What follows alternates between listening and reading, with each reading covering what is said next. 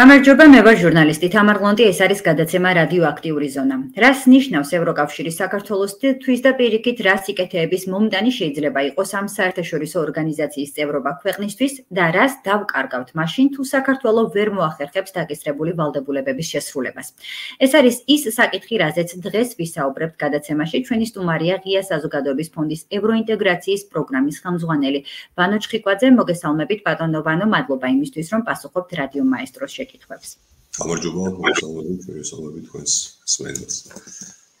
ბატონო ბანო, პირველ რიგში მინდა გითხოთ, რას ნიშნავს ევროკავშირი საქართველოსთვის და რა არის ის სიკეთეები, რასაც ამ ორგანიზაციის წევრობა მისცემს ქვეყანას? ევროკავშირი შეიძლება ითქვას, რომ არის საქართველოსთვის ერთადერთი არჩევანი, როდესაც საქმე ეხება ჩვენს საგარეო პოლიტიკას. აა რეალურად ჩვენ სხვა ალტერნატივა ევროკავშირის ასე ვთქვათ არ გაგვაჩნია. და ამას აქვს სამი ძირითადი განზომილება. ამას აქვს მორალური განზომილება, ამას აქვს ეკონომიკური განზომილება და ამას აქვს პოლიტიკური განზომილება. როდესაც საუბარია მორალურ განზომილებაზე, ჩვენ და გავიხსენოთ, რომ რეალურად ძალიან ბევრი თაობა და ძალიან ბევრი ადამიანი საქართველოში ესწრაფოდა საქართველოს ევროპეიზაციას. და სწორედ ეს წარმოედგინათ, როგორც ასე ვთქვათ, ქვეყნის განვითარების ერთადერთი მოდელი, და შესაბამისად მორალურად იქნება არასწორი რომ ვინმე მიფიქროს რომ საქართველოს უნდა გადაუხვიოს ამ გზას და სხვა მიმართულებას უნდა დაადგეს. სხვა მიმართულება როგორც გითხარით არ არის უბრალოდ ყველაზე ცუდი ამ შემთხვევაში და არ ვიცი შეიძლება იყოს კატასტროფული ეს არის რუსეთის მიმართულება და ჩრდილოეთის მიმართულება. რაც შეეხება პოლიტიკურ განზომილებას ამ არჩევანისა ეს მდგომარეობს იმაში რომ საქართველოს ევროპეიზაციის ასე ვთქვათ გზა ეს არის ერთადერთი ვარიანტი იმისა რომ ქვეყანა გახდეს უკეთესი. რაც ნიშნავს იმას რომ ქვეყანაში იყოს ადამიანის უფლებები უკეთესად დაცული, კანონის უზენაესობა უფრო უკეთ ვიდრე დღეს არის, ელიტარული კორუფციის ძინავდი ბრძოლა ეფექტიანი იყოს, აა ირადი ასე ვთქვათ სივრცე იყოს ადამიანებისთვის და ასე შემდეგ და ასე შემდეგ. უკეთესი განათლება იყოს, უკეთესი აა ასე ჯანდაცვის სისტემა და ასე შემდეგ. რაც შეეხება ეკონომიკურ განზომილებას, აა დღევანდელი მოცემულობით სყიდულობით უნარიანობის თვალსაზრისით ევროკავშირი ითვლება ყველაზე დიდ ბაზრად და ყველა ქვეყანა ცდილობს რომ იყოს მასთან რაც შეიძლება ახლოს და რაც შეიძლება ინტეგრირებული. შესაბამისად ევროკავშირის წევრობა ზუსტად ამას ნიშნავს, რომ ევროკავშირის ბაზარი, როგორც სერვისებისთვის, ასევე კაპიტალისტვის, ასევე ადამიანებისთვის, სრულად იხსნება საქართველოსთვის რა თქმა უნდა ეს ხელს უწყობს ქვეყანას იმისთვის რომ უფრო უფრო და უფრო წინ წავიდეს ეკონომიკური თვალსაზრისით. ელემენტარულად თუ ავიღებთ დაუშვათ სხვადასხვა ქვეყნებს ვინც მეტნაკლებად საწყის ეტაპზე იმყოფებოდნენ, დღეს ჩვენ ხედავთ რომ მას მერე რაც ისინი ევროკავშირის წევრები გახდნენ, მათი მთლიანი შიდა პროდუქტი რამოდენიმეჯერ გაიზარდა. ელემენტარულად ერთმანეთს რომ შევადაროთ მაგალითად საქართველოს მთლიანი შიდა პროდუქტი ერთ მოსახლეზე და აა მაგალითად ესტონეთის მთლიანი შიდა პროდუქტი ერთ მოსახლეზე ჩვენ დავინახავთ რომ რეალურად დღეს ერთი საშუალო სტატისტიკური ესტონეთის მოქალაქე 6ჯერ უფრო მდიდარია ვიდრე საშუალო სტატისტიკური საქართველოს მოქალაქე. ასე რომ აი ეს შედარება საკმარისია დავინახოთ ის განსხვავება რა შეიძლება რომ მოიტანოს ევროკავშირმა და ევროინტეგრაციამ. საპირისპიროდ რა ინტერესი აქვს ან რა ინტერესი შეიძლება ქონდეს ევროკავშირს საქართველოსადმი? რატომ შეიძლება უნდოდეს ის წევრად საკუთარ რიგებში?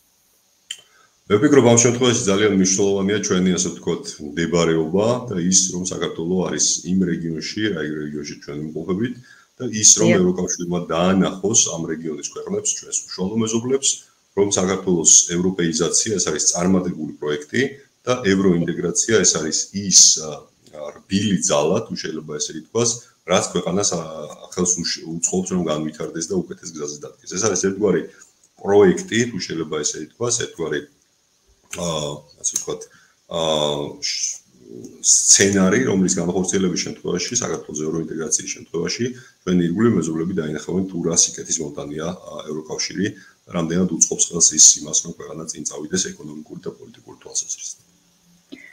ბატონო ვანო, აა რა დავკარგეთ 24 ივნის იმ განსხვავებული გადაწყვეტილებით, რაც მიიღო საქართველოს უკრაინისგან და მოლდოვასგან განსხვავებით? მე თქვენის ნებართვით ესე გავაკეთებდი ფორმულირებას, რომ ჯერჯერობით ჩვენ ეს დაკარგული არ აქვს. გადაიწია უბრალოდ იმ პერიოდმა, რა პერიოდში შეიძლება ჩვენ ეს ყველაფერი მოვიპოვოთ. აა ამ ეტაპზე სასწორზე დგას ძალიან ბევრი რამ. ამ ეტაპზე სასწორზე დგას ის, რომ საქართველოს განუხრელად დაადგეს ევროკავშირში წევრობის გზას და იმისთვის რომ ეს მოხდეს, ამისთვის საჭიროა ზუსტად კანდიდატის სტატუსი. ეს არის ის საფეხური, რომელიც ნებისმიერმა სახელმწიფომ უნდა გაიაროს იმისთვის, რომ მივიდეს საბოლოო მიზნამდე, რასაც ევროკავშირში წევრობა ჰქვია. ეს როგორც უკვე ვთქვი, ჯერჯერობით ასე ვთქვათ, დაკარგულად ვერ ჩაითვლება, იქიდან გამომდინარე, რომ ევროკავშირისგან ჩვენ გვაქვს ძალიან კაფიო სამი რამ რაც მივიღეთ ამ გადაწყვეტილების შედეგად. პირველი, ეს გახლავთ ევროპული პერსპექტივა. ევროპული პერსპექტივა სხვა სიტყვებით რო ვთქვა, ნიშნავს იმას, რომ ევროკავშირი დაგხვირდა, რომ საქართველოს აუცილებლად გახდება ევროკავშირის წევრი. აქამდე ჩვენ ეს დაპირება არ გქონია, ისე მოვედით ამ 30 წლის მანძილზე. ა მეორე, ევროკავშირმა გითხრა, რომ იმისთვის, რომ საქართველოს უფრო წინ წავიდეს და იმისთვის, რომ საქართველოს გახდეს უკეთესი ქვეყანა, საჭიროა მან შეასრულოს 12 ძირითადი რეკომენდაცია, რომელიც წარმოადგინა ევროკავშირმა, წარმოუდგინა ევროკავშირმა საქართველოს.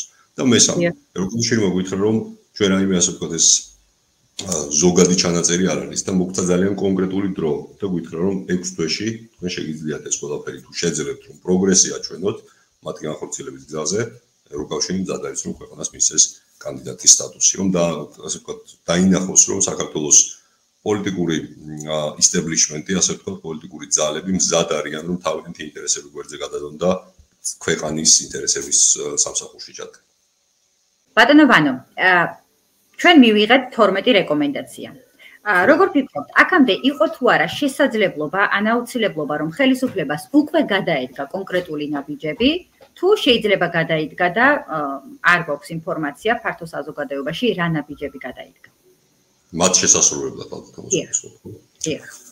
სამწუხაროდ მე რაც ვიცი და რასაც უყურებ, კონკრეტულად ინფორმაცია არ მაქვს, რას გეგმავს და დღეს თუ არ თუ არ მეშლება სადღაც მე-13 დღე არის უკვე გასული რა ჩვენ ეს რეკომენდაციები გვაქვს უკვე მიღებული. აა ჩვენ ვერ დავინახეთ რეალურად სად იმყოფება ან რას გეგმავს საქართველოს ხელისუფლება მათი შესრულების თვალსაზრისით. ასეც უნდა ითქვას, რომ ის რეკომენდაციები, რაც ჩვენ ევროკავშირისგან მოვისმინეთ, ну, ერთს თუ არ ჩავთვლით დეოლიგარქიზაციას, ახალი არაფერი არ იყო იქ. ამას ევროკავშირი თითქმის ყოველ ჯერზე, თითქმის ყველა რეკომენდაციაში, თითქმის ყველა ანგარიში გვეუბნებოდა საქართველოს, ასე რომ ამ კუთხით ჯერჯერობით ყოველ შემთხვევაში რაიმე ისეთი სერიოზული ხედვა, თუ როგორ აპირებს ხელისუფლება ამ მათ განხორციელებას ჯერჯერობით ჩვენ ამ მე პირადად არ მომისვენია ნამდვილად. ძალიან მნიშვნელოვანი იქნება რამოდენიმე რამ, რამოდენიმე ნაბიჯი. პირველი მნიშვნელოვანი იქნება ის, რომ განისაზღვროს უცხება ორგანო ინსტიტუცია, ვინც ამ ყველაფრის შესრულებაზე იქნება პასუხისმგებელი. შეიძლება ეს იყოს პრემიერ-მინისტრის ოფისი, შეიძლება ეს იყოს საგარეო საქმეთა სამინისტრო, რადგან საგარეო საქმეთა სამინისტრო არის ასოცირების ხელშეკრულების შესრულების მაკოორდინირებელი ორგანო. და მეორე, საქართველოს ხელისუფლებამ რაც შეიძლება მალე უნდა მიიღოს კონკრეტული საგზაო რუკა ევროკავშირისგან უნდა შეათანხმოს მასთან რა იგულისხმება თითქმის ამ რეკომენდაციის ქვეშ. იმიტომ რომ შესაძლებელია ესენი ეს რეკომენდაციები გახდეს ერთგვარად მოძრავი სამიზნე შესაძლებელია საქართველოს ხელისუფლებამ რაიმე ნაბიჯი გადადგას კონკრეტულად მათ შესასრულებლად და აღმოჩნდეს რომ ის არ არის საკმარისი ამისთვის ან ეს ნაბიჯი კი არ უნდა გადადგმულიყო არამედ სულ სხვა მიმართულებით უნდა წასულიყო აქტიობები ასე რომ ამ ეტაპზე პირველ რიგში რაც შეიძლება მალე ეს ორი ნაბიჯი უნდა გადაიგდეს პირველი საგზაო რუკა შემუშავდეს და გადაეცეს ხელისუფლებას და მეორე განისაზღვროს ის უწყება ვინც ამ ყველაფრის შესრულებაზე იქნება პასუხისმგებელი ბატონო ვანო, ის რომ კონკრეტული ნაბიჯები ამ დრომდე აქტიურად არ გადადგმულა და სუბარი ხუნდაძე ყაბელაშვილის როგორც ქართული ოცნებიდან წასვლა, ასევე მათი განცხადებები, მათ შორის დღევანდელი იყო ერთი ასეთი, რომ კანდიდატის სტატუსით ხორციელდება ზეწოლა მთავრობაზე, მეორეს მხრივ არაფორმალური სანქციით ბიძინა ივანიშვილზე დარწმუნებული ვართ ამ ხელა ზეწოლის მიუხედავად ბიძინა ივანიშვილი საქართველოს ომისთვის არასდროს გაიმეტებს. არის თუ არა ეს კონკრეტული განცხადება? ხელისუფლების მხრიდან და ძველი მათი თანაპარტიელებისგან. ეს არის უბრალოდ ძალიან არასერიოზული განცხადება და მისი არასერიოზულობა მდგომარეობს შემდეგში. ევროკავშირი, როდესაც შეიქმნა 50 წლების დასაწყისში, შეიქმნა იმას მერე, რაც ევროპაში მიიღო პირველი მსოფლიო ომი, უგეხსენება 1914-18 წლებში და მეორე მსოფლიო ომი 1939-45 წლებში, რამაც მილიონობით ადამიანი შეიწირა. ევროკავშირის შექმნის მიზანი და მისია არის ის, რომ ევროპის კონტინენტზე იყოს მშვიდობა. და ევროპის ევროინტეგრაციის ასე ვთქვათ DNM-ში, ევროკავშირის DNM-ში არ არის სიტყვა ომი. პირიქით, ევროკავშირი შექმნილი არის იმისთვის, რომ კონტინენტზე იყოს შვიდობა. შესაბამისად, ის რომ თითქოს ვინმე რაიმე ფორმით ირიბად პირდაპირ და ასე შემდეგ საქართველოსგან მოითხოვს ომს იმისთვის, რომ ევროკავშირში წინ წავიდეს და ევროკავშირში წევრი ევროკავშირის წევრი გახდეს, ეს არის აბსოლუტურად არასერიოზული და უპასუხისმგებლო განცხადება, ვინც არ უნდა გააკეთოს ის. ბატონო ვანო, მე მინდა ასევე თქვენი კომენტარი მოვისმინო იმასთან დაკავშირებით, თუ რა სამოქმედო გეგმას სთავაზობს სამოქალაქო მოძრაობა, რომელიც აქციებს მართავს რუსთაველზე ევროკავშირთან დაახლოების კუთხით. მათ შორის არის დროებითი მთავრობა და ასე შემდეგ. თქვენთვის მისაღებია თუ არა და სწორი არის თუ არა ის მიმართულება, რომელიც მათ აქვთ აღებული? ორი რამ მინდა გითხრათ ამაზე. პირველი, მე პირადად უშუალოდ არა ვარ ჩართული ამ პროცესებში, ამ კოორდინაციაში და აქედან გამომდინარე სიმართლე გითხრათ, რაიმე ასე ვთქვათ, ისეთი ინფორმაცია, რომელიც შემიძლია გაგიზიაროთ, მე არ გამოჩნია, გარდა იმისა, რაც თქვენთვისაც ცნობილია. რაც შეეხება ამ ახალ შემოთავაზებებს თავრობასთან დაკავშირებით, ჩემი პირადი სუბიექტური აზრით თუ გაინტერესებთ, მე ჯერ კიდევ არ მაქვს ვთქვათ კონკრეტული პოზიცია ჩამოყალიბებული. ამდენად ეს სწორი ნაბიჯია, ამდენად არ არის სწორი ნაბიჯი. მე არ ვამბობ, რომ სწორია ან არასწორია, უბრალოდ ამაზე ჯერ კიდევ ვფიქრობ, მე რამდენად შეიძლება ეს ეფექტიანი იყოს. ასე რომ ამაზე ჩამოყალიბებული პოზიცია ამ კონკრეტულ ნაბიჯთან დაკავშირებით მე არ გავაჩნია. როგორი არის თქვენი პროგნოზი? რა შეიძლება, რა არის მეტად სავარაუდო, რომ ქვეყანამ მიიღოს წლის ბოლოს? როგორც ვთქვით, ჩვენ გვაქვს უკვე კონკრეტული ვადა და 12 რეკომენდაცია, რომელიც აქვს ქვეყანას შესასრულებლად.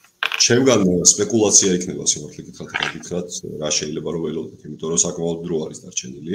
მიუხედავად იმისა რომ ერთი შეხვედრით ეს ცოტა დრო გონია ანუ სადღაც 180 დღე გახლავთ ეს როგორც მოიხსენებათ ეს არის სრულიად საკმარისი იმისთვის რომ ხელისუფლებამ აჩვენოს პროგრესი იმ 12 რეკომენდაციის შესრულების კუთხით რაც არის წარმოქმნილი იმიტომ რომ საქართველოს ხელისუფლებას ეს შეუძლია და ხელეწიფება ორი დღის წინ ამერიკის შეერთებული შტატების ელჩი მას განაცხადა ეს რომ საქართველოს ხელისუფლებას აქვს გამოცდილება ერთ დღეში მიიღოს კანონები. და სწორედ ეს არის ის ეს რახან შეუძლია დარწმუნებული რომ საქართველოს ხელისუფლებას ასევე შეუძლია რომ იგივე ამ 12 მიმართულებით, ამ 12 რეკომენდაციის საფუძველზე რაც შეიძლება სწრაფად იმოქმედოს და რაც შეიძლება სწრაფად აჩვენოს პროგრესი. ან შეიძლება რა იქნება წლის ბოლოს? ალბათ ამაზე ცოტა ძნელია შეიძლება და არასწორი და არასერიოზული იქნება საუბარი. იმედი მაქვს იმედი მაქვს რომ საქართველოს ხელისუფლება დარჩენილი ძალიან მოკლე დროს გამოიყენებს იმისთვის რომ ამ რეკომენდაციების შესრულების კუთხით წინ წავიდეთ იმიტომ რომ რეალურად დღეს თუ ჩვენ მოლდოვის და უკრაინის ხარეს ანუ ამ ორ ქვეყანას ერთი ნაბიჯით ჩამოვჭებით იმ შემთხვევაში თუ ჩვენ ვერ ვაჩვენეთ პროგრესი ხოლმე მოლდოვამ და უკრაინამ შეძლეს რომ გადავიდნენ შემდეგ ეტაპზე, რაც არის მოლაპარაკებების სტადია უკვე, გაწევრიანების მოლაპარაკებების სტადია.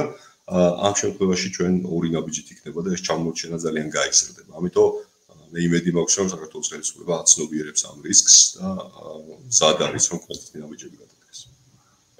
გასაგებია, დიდი მადლობა იმისთვის, რომ პასუხობთ რადიო მაესტროს შეკითხვებს. მე ჩვენს მსმენელს შევახსენებ, რომ რადიო მაესტროს პირდაპირ ეთერში საუბრობდა ღია საზოგადოების ფონდის ევროინტეგრაციის პროგრამის ხელმძღვანელი ბანო ჩხიკვაძე. ამით დღეს გადაცემა დასრულებულია ნახვამდის.